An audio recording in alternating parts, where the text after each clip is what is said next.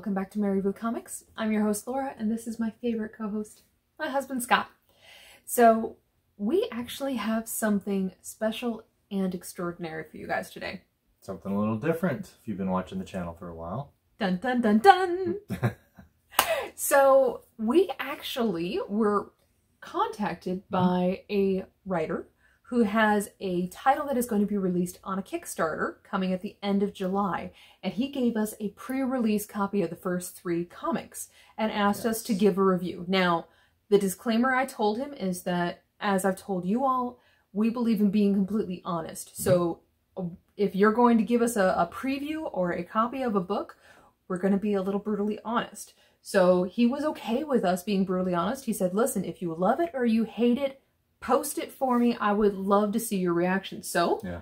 I said, all right, let's do this. So Laura and I both read this book called Detonator. Um, it is written by James Parrish. Um, the art and I believe coloring was uh, Carlos, and forgive me if I mispronounce it, but I got Zamudio. I hope that's right. And um, I will start by saying this. So, well, maybe a little bit about James first of all. So James yeah. is an EMT with the fire department over New York yes. in Brooklyn. And he's writing this comic book series. He's certainly releasing Detonator, and he's working on some sort of unannounced fantasy series that he has not told us about, but yes.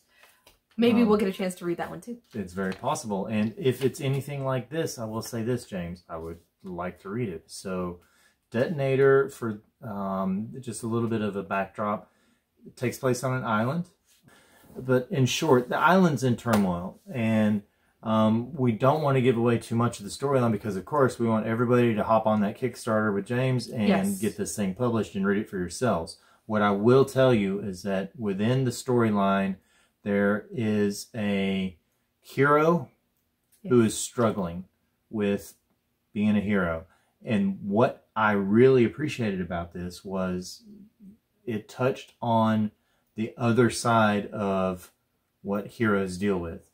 Similar to me, reminiscent to me of The Boys, meaning, um, you know, we all see the wonderful things that are going on when the hero saves the day and, and you hear about the, yes. you know, press and the, the news and, and even kind of going into like the Avengers, um, you know, before they yeah. Civil War, right? Everything was like, oh, look, they saved the city. Oh, they saved this per this person. Oh, they saved this person. But what you don't hear about and don't see are the other people on the other side of the story. The guy whose house, you know, the the car got flipped over and landed on, or Tony Stark with his PTSD, you know. Or the Hulk went rampant, you know, on a rampage through a village. Or in The Boys, you know, uh, A Train takes out your girlfriend on his way to score some drugs. Which, yeah. You know, back to the point. I'm not I'm not going to ramble on this one, I promise. Being a hero is really cool, but there's a lot of probably um, morose thoughts of the people you can't save. You know, the victims that are hurt as a result of the actions you have to take to do something heroic. And this character struggles with that. So to but, give it a twist. Oh, this is a cool twist. This is the cool twist. And yeah. honestly, the description of the book, which James Parrish, I know you're watching this. I like your description, but honestly, it does not give your comic any justice. Mm. So in the description, it just mentions you have a best friend who sees his superhero best friend who is yeah. really struggling, and in order to inspire him, he becomes the villain that his best friend needs. And I'm like, okay, that's interesting. But then you start reading it. Yeah. And basically it's so I, cool. I don't know if any of you have ever dealt with a friend who had depression and you know how hard it is to kind of pull that person out. Um, I... Not even to pull them out, just to be around them and to continue yes. being a friend. It's hard, period, but... It's yeah. incredibly hard. So I can only imagine the lengths that you would go to to try and help someone like that. Mm -hmm. And it makes perfect sense why this best friend would be like, all right, I have tried all the friendly things. I've tried the words of encouragement. I've tried breaking him out of his shell. I've tried all these other things. And you know what? Let's just blow up a bloody building because maybe that'll get his attention. Yeah. And it is funny as all get out. The very first issue had me completely. I was Yeah. definitely intrigued. It's a very fast paced moving comic book. So if you read the description, you're like, sounds interesting. Read it. Trust me, it's it's very fast moving. The only thing I will say is because the first one moves so quickly, I immediately wanted the second and third issues. So it It's not a bad thing, but yeah, if you're doing this on a weekly basis instead of as a set, you might be like, "Ah," going through withdrawals. definitely And the friend that, that steps up, it, it poses an age old question to me, which I thought was awesome. It's like, to what length would you go to to help your friend, right? yeah. But then take that to the, again, superhero level, and it's like, well, what would you do if Clark Kent was your best bud and he's in depressed? He's, he's, he's in a funk, you know? Yeah. What would you do if um, somebody with this awesome power decided that maybe they just aren't sure if they want to keep doing it, and you knew that they had it everybody else Yeah. needs that to continue. Everybody else wants them. Everybody else needs their their power, um, needs them to use their power. What would you do? What lengths would you go to? And and this version, Detonator goes to some pretty extreme lengths. Um, all that being said, there is an epiphany that happens, and within the first three issues, and it's fun, but also kind of like um, I it's it's an eye opening part where the best friend that's been trying to get his superhero depressed uh, buddy out of the funk says, "You know what? I've been doing this wrong," and and there's an apology pizza, which is now my new favorite thing. Yes. And Laura and I are going to try that next time that you know one of us messes up. Yeah, there will, there will be an apology pizza. Thank you, James. Definitely. Um, but it's such an interesting take on this friendship and the duality of being a hero and the responsibility and, and also being a friend to that person. and being a good friend, not just like the Yeah. friend in name, but then you're Yeah. like, oh, well, I, I now have an opportunity to step into the spotlight. Right. I'm just going to take over. It, it's none of No, that. It's not. genuinely he does care It's about well his done. best friend, and I loved that. Really well done on the story. Now, artwork. So I- we only had the digital copy, of course, to look at. Um, my opinion of it right off the bat was it was it reminded me of a style that's a little more of um, I don't want to say caricature, but there's the realism style, and then there's this this version. I like it a lot because it portrays well yeah, it um, works. the panels, you know, the flow. Um, it also, with this particular, you know, subject matter, um, there are a lot of explosions and there is a lot of um, movement even within the panels, and it, it it's easier to show that without it having to be so. Yeah, well, and I think it gives it a really lighthearted nature that I think is really Yeah. essential because yes, you could keep this really, really dark and surreal and realistic, Yeah. and and delve into those depths of depression, and instead it's like, no, let's have a bit of like tongue in cheek fun. Um, really cool. Yeah. It, it almost reminds me a little bit because it'll at times you will see some of the video games that gosh we all played once upon a time. The the artwork reminds me a little bit of those video games. Which they, yeah, And- they and they'll even reference in the- include yeah. in the comics, so it's just like a great tongue in cheek on That's top what I of the was going for. It's it's Yes. kind of like that. Um, so the age before the super ultra realistic video games came out, it's Yes. in that era, and I love that era, like Contra and stuff like that. Anyhow, and I may be way off. Um, Carlos, by no means is any of that a critique in a negative way. I just it's a particular style of art, and I liked it a lot for this um, storyline. I think it Yeah. fits really well.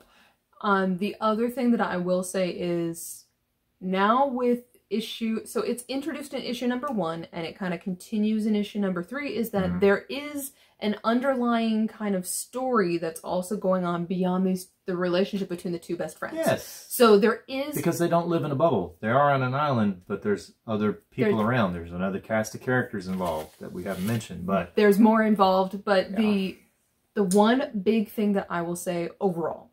So the things you all do not know about my amazing husband. So my husband has an incredible best friend by the name of Sean. And honestly, I we get Sean and Scott in the same room and the two of them become giggling schoolboys and it is hysterically funny because the two of them both riff off of each other and then they'll start quoting movies and then they start just like instantly laughing because they're also remembering the time once upon a time when like one of them went flying out of a golf cart. This person did that. Explosion. I, I mean just it's crazy. When the two of them get together it you for me as an observer it is like the best moments because i just sit there with this humongous grin on my face and it's like watching the best stand-up comedy. It's like go! Yeah. so when i was reading this i kept sitting there going all right what if scott was the one who was facing the severe depression and had gone through something traumatic hmm. and sean is the one who kind of like walks into the room tries riffing with scott and can't get him out of it and i'm like i could almost slightly picture sean doing some of these things so there's a very realism There was a tie-in, yeah, that made it very real for us. to the, the the relationship between the two gentlemen Yep. in the story, but it was also immediately it reminded me of Scott and Sean. Yes. So that was really really cool. Pros and cons. So, um, pro for me, storyline itself grabbed me from the beginning, made me want to continue. And like as soon as I finished with the first issue, like Laura said, I wanted to read the second one. Second one, I wanted to read the third one. Um, con would be if I'm waiting on these things to come out once a week or once every three weeks or whatever. That time in between, I'm going to be like, hmm, I, I wonder what you know. I want more. Yep. Pros and cons for you. What do you got? Um What's a pro? pros so definitely like the very first couple pages hooked me. Um the the comedy in the storyline Yeah, was comedy great. is a big pro. Yeah. Um, that was awesome. Um, I definitely like the villain best Yeah. friend. He is definitely my favorite character. really? Yeah. So, just on a side note, I'm very curious to see what happens with the sister. And I think she could very well be one of my favorite characters because I really like the interaction she's had with the best friend Best friend. so far. Um, and at the very end of issue three, she kind of shows she's got some backbone there that I, I'm like, hmm, I wonder what that's going to turn into. Yes. So, yeah. It's a great dynamic between Yeah. because it's the sister of the best friend. Yep. So sister best friend and our main hero. Yep. And there's kind of a an understanding, a, a relationship that exists between the three of them, and then seeing how they interact. That's gonna be. Did you have a con of any kind, though? Um, my only con, which actually is kind of a pro, is Oh, so every was every single one of the issues because it was so much action and so fast paced.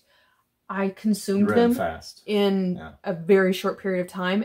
So I think that's the only negative that I can think of is that I, I, it felt like I was reading Lady Killer, where I just I, I flew through it and then immediately I'm now at the end of So, issue number three and now I yeah. don't have more. there's some momentum to the story, and I think it fits with the story. Um, there's not a big long soliloquy Yeah. with somebody looking deep inside themselves and pausing on a balcony overlooking a city. There's that doesn't exist, but I like that too because it was also, I mean, it's a page turn. That's what you I would describe it as. Definitely, So, in the end, we definitely gave it two thumbs up. definitely. Most definitely. Like the writing style, like the art style, like the storyline itself, like the characters. We're back in the Kickstarter. We have enough, yeah, oh, 100%. Yeah. Have enough uh, multiple things going on that we're intrigued to see where these little threads go, but not so many that we're like, we need a guide to figure out who's who and what's what. So I think it's nailed it.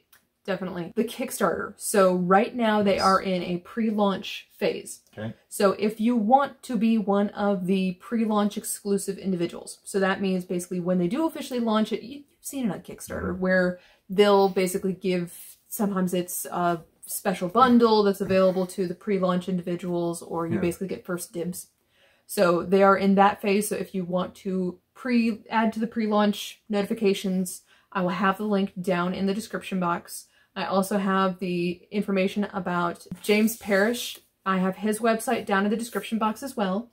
And um yeah, said, definitely back the Kickstarter. And the other fun bit is we are going to have an opportunity soon to do an interview with James as well. So you can get a bit more of a behind the scenes perspective from him on, you know, what inspired him to write that story. Mhm. You know, does he have his own Sean, you know, best friend that started all of this?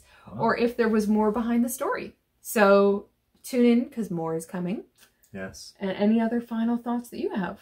I don't really have anything to add except um, I definitely recommend it if you like, you know, fast-paced buddy um, storylines, yeah. action comics. Find it, back it, read it.